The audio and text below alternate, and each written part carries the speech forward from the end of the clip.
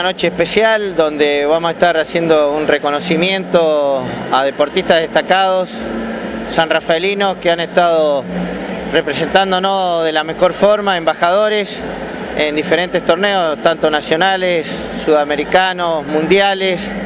Y bueno, la verdad que nos encontramos con un número de más de 100 deportistas y bueno, hoy acá eh, premiando el esfuerzo, la pasión, que, le pone cada uno en su disciplina en forma conjunta con lo que son los programas de hockey de acción y la Liga de Fútbol Femenino.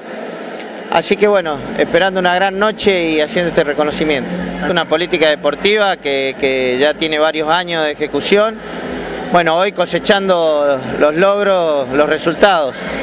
Este, esto es un trabajo conjunto de esta política deportiva a través de la Dirección de Deporte, las instituciones como son las asociaciones, clubes.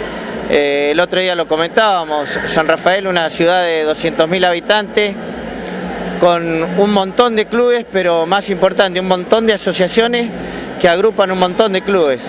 Este, y bueno, nos hace un departamento que tiene ese privilegio de contar con tantos deportistas y con el agregado de contar con, de tener eh, eh, lo que la naturaleza nos brinda, que bueno, nombraba el rafting, el kayak, un montón de deportes que otros departamentos no tienen esa virtud de contar con estas bellezas naturales y bueno, y nosotros explotándolo en lo deportivo.